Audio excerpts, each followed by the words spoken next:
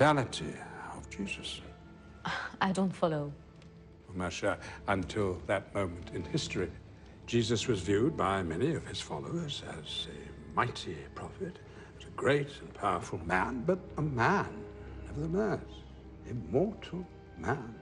Not the Son of God? Not even his nephew twice removed. Jesus' earliest followers considered him to be God. Well, what I argue in the book is that during his lifetime, Jesus himself didn't call himself God and didn't consider himself God, and that none of his disciples had any inkling at all that he was God. Uh, the way it works is that you, you do find Jesus calling himself God in the Gospel of John, our last Gospel.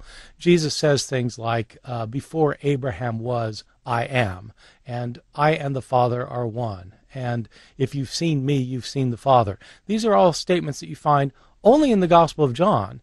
And that's striking because we have earlier Gospels and we have the writings of Paul, and in none of them is there any indication that Jesus said such things about him. There are many ways to approach this question, but for the purposes of this short video, we will simply consider the teachings of the Apostle Paul on this question. Why start with Paul? Larry Hurtado explains it best.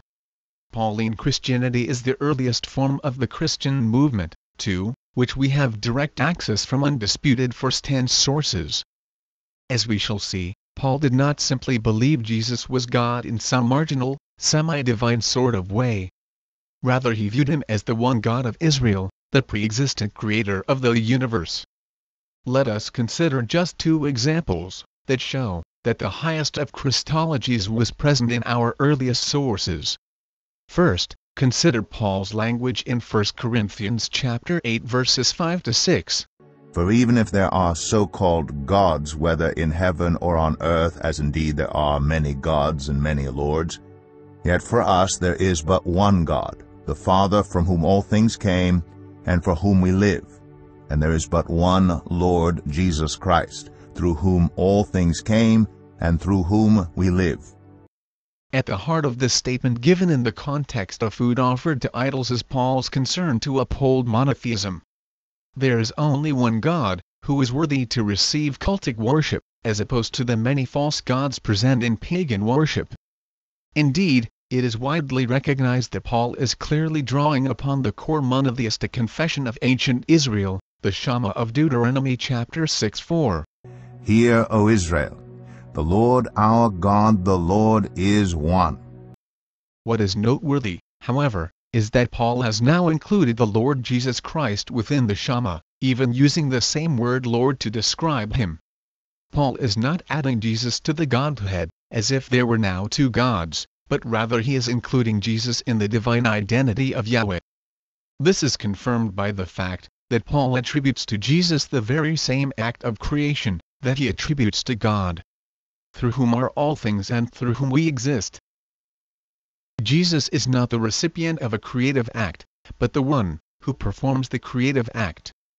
Thus, Bauckham concludes, a higher Christology than Paul already expresses in 1 Corinthians chapter 8 6 is scarcely possible, and is the common character of all New Testament Christology.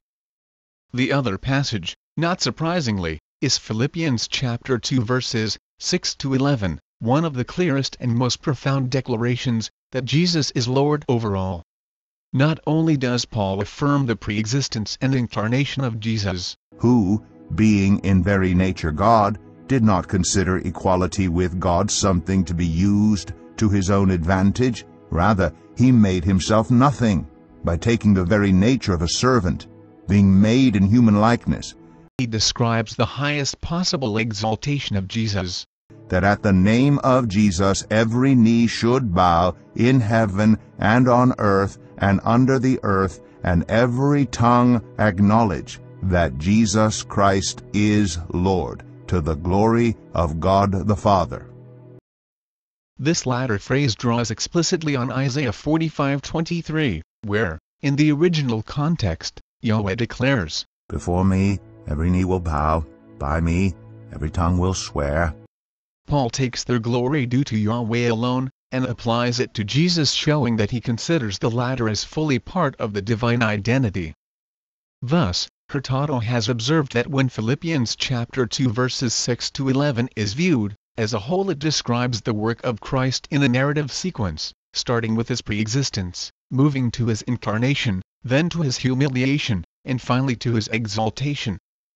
What is particularly noteworthy about both of these passages is that scholars have argued that each of them reflect even earlier Christian tradition, that significantly predates Paul's own letters. In the case of Philippians chapter 2 verses 6 to 11, it is widely regarded as an earlier Christological hymn that Paul adapted for use within this particular letter. Likewise, 1 Corinthians chapter 8 verse 6 is considered to be one of the earliest creedal statements within the Pauline corpus. Thus, not only do these passages show that the Apostle Paul himself had a high Christology, but that this high Christology predates Paul, and appears in the very earliest layers of the Christian faith.